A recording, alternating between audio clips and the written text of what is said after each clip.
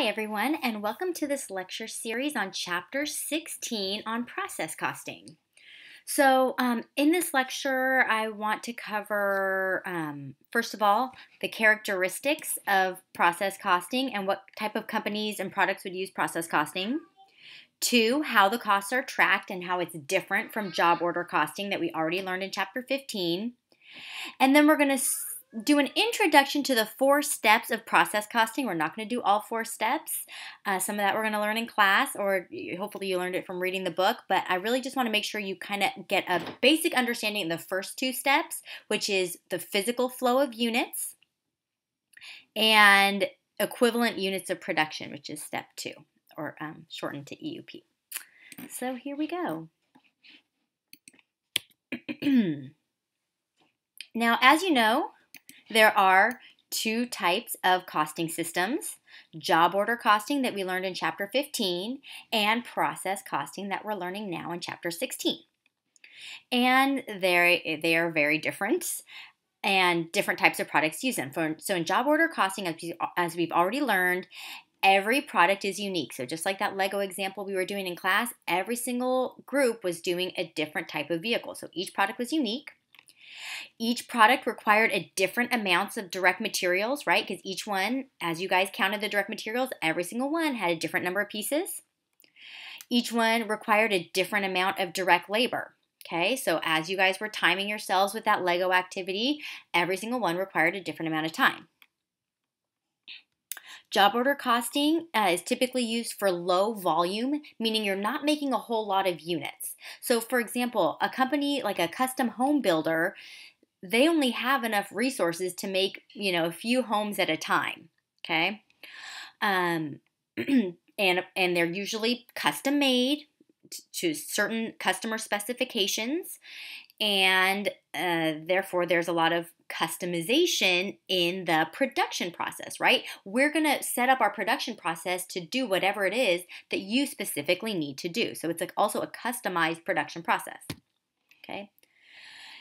Process costing is different. under process costing, each product is identical. Okay, so take these pens. They look exactly the same. Yes, I know they are different colors. That's okay. But for the most part, they look absolutely identical. As opposed to a custom house, every custom house is going to look different. And just like the vehicles we did in class, every single vehicle looked different. These ones all essentially look the same. The only difference is the color. Okay? Um, each product has the same amount of direct materials. Each product then requires the same amount of direct labor because, again, they're exactly the same. So the inputs are the same. For process costing, it's generally high volume or mass production. So, you know, I was telling you with a custom home, you're maybe making a few homes at any given time. Uh, for a company like Bic, they sell 57 billion pens every second. So they make a lot of pens. A lot, a lot, a lot of pens. Okay? So they are what we consider high volume. They make many, many, many, many, many of them. Okay? And also, um, the production process includes a lot of repeated steps. Um, there, it's not custom made or, or custom production. It's the same steps over and over because we're basically making the same product over and over and over and um, and therefore there's a lot of standardization. That means we're going to set a standard production process that's exactly the same for every product, and this ensures that every product again is exactly the same. That's what we want out of process costing is that every single pen is exactly the same, as opposed to a custom home. Our goal is for each one to meet the customer's certain needs. So it's just a different goal, different production process. So when I say produce with repeated steps, this is what I mean.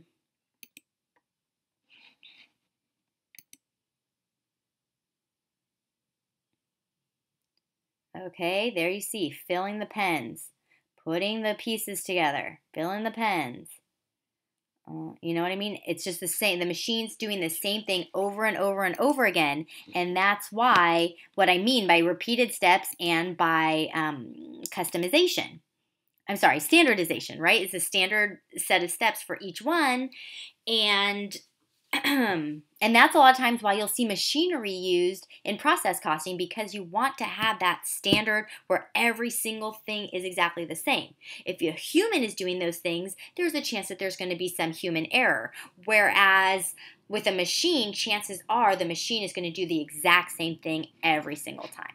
Okay, so those are the key, uh, or some just differences in the characteristics. But there are some similarities between job order costing and process costing.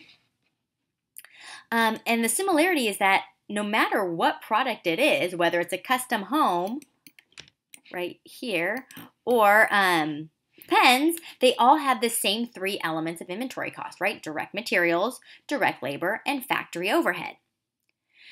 And both job order costing and process costing have the same goal in mind, which again, they're both cost accounting systems. And as we learned, cost accounting systems are the method a company uses to track the cost of producing goods and services. So whether using job order costing or process costing, they're, they both have the same goal of tracking the cost of the goods. And again, those costs, whether for both job order costing and process costing, are direct materials, direct labor, and factory overhead. That is exactly the same. Okay, but there is a key difference. Okay, and that is how the jobs are tracked. So, as we've already learned, under job order costing, costs are tracked by job. So, we have direct materials going to job one, job two, job three. We have direct labor going to job one, job two, job three. And we have factory overhead going to job one, job two, job three. And um, you guys actually did this in class when we were doing our Lego activity. You were tracking the cost for each one of your jobs. then you would combine the costs from all of the jobs, and that would go into your work in process account. And then any goods that were completed would move on to your finished goods account. Okay? Now, I want to talk briefly about the term cost object. So, that term cost object just basically means the thing that we assign costs to. And as you can see in job order costing, what we're assigning the cost to is the job. So in job order costing, your cost object is the job. I'm assigning direct materials to each job. I'm assigning direct labor to each job. I'm assigning factory overhead to each job. And the reason why we do it this way for job order costing is because each job is unique. Each job requires a different amount of direct materials and direct labor, and therefore it makes sense to track them by job because each one is using different resources okay? But with process costing, it's different. The costs are tracked by process or department because usually um, different departments are in charge of doing each process. Okay, so that means we track it by the steps in the production process. So, as an example, talking about pens, right? Let's say, and this is very oversimplified. I actually did have a client that made pens, so I know probably too much about what it takes to make a pen, but um, I'm giving you a very oversimplified example just, you know, to kind of keep it simple, okay? But let's say there were three steps in the process of producing pens, okay? First step is to prepare the ink that goes inside the pen. The second step is the casing or the outside kind of plastic of the pen with the uh, with the lid. And then the third step is packaging them all up so that they're ready for sale. Okay? So under process costing, um, the steps for every individual pen are the same. So whether it's black pen, blue pen, green pen, red pen, they're all going through the same steps. First got to do the ink, then got to do the casing, then got to do the packaging. Okay? So in this case, because the steps are the same for all the process products, but each step requires different resources, different amounts of direct materials, and different amount of direct, direct labor. It makes more sense for process costing to track the costs by process or department. So the ink department, the casing department, and the packaging department. So you could call it process or department either way. Um, it's it's the same you know same concept. Is that whichever group is doing whichever task, that's how we're going to assign the costs. So we're going to assign direct materials related to making the ink cartridge. That all goes to to um, a separate work in process account for the ink department. Okay. Um, then for the casing department, the direct materials involved in the casing process would go to a separate work in process account for the casing department. And then the packaging department, they have a different type of direct material that gets added in. So we have a separate work in process account for um, that packaging department. Okay, so that's one of the key differences really between job order costing and process costing with the way that the um, the costs are tracked, right? They both, as you see, have direct materials, direct labor, and factory overhead, but job order costing only has one work in process account. And all the job cost sheets, sorry, I'll flip back to that, right? They only have one one um, work in process account okay? But all the job cost sheets flow into that one work in process account. But under process costing, there is a separate work in process account for each step in the process. Okay, and then we're going to assign the direct materials, the direct labor, and the factory overhead to each of those processes as they're being used. Okay. So in this case, the cost object or the thing that we're assigning cost to is the process or department.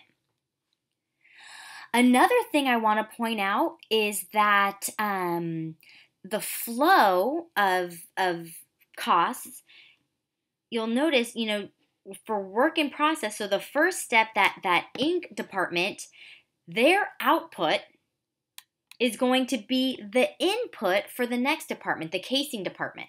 Okay, so you need the ink cartridges first to be done, then you build the casing around it. Okay, then once the ink and the casing are together, that's the output from um, department two. That then becomes the input for department three, which is packaging. So really, um, as the goods move through the process, the output from one WIP account becomes the input for the next WIP account. And then that becomes the input for the next WIP account. Okay, so it comes out of one WIP, goes into the next, goes out of the next WIP, into the next. So the only phase in the process where that doesn't happen, of course, is the very last work in process account that finishes off the product, in this case, the packaging department. At that point, the output then is the finished good ready to sell. Okay? All right. So now, moving on, uh, we're going to start an introduction to the steps in the process costing system. And there are, as you can see here, four steps. But in my uh, video, or what I want you to know before coming into class, is really just steps one and steps two. And I don't necessarily expect you to be total experts at these. I'm to I just want you to conceptually understand how they work uh, so don't stress if you don't totally understand everything or can't do a complicated calculation or one of the exercises or problems. I just really more want you to understand very simply the concept behind them. So I'm going to start going over that in the second video. So stay tuned.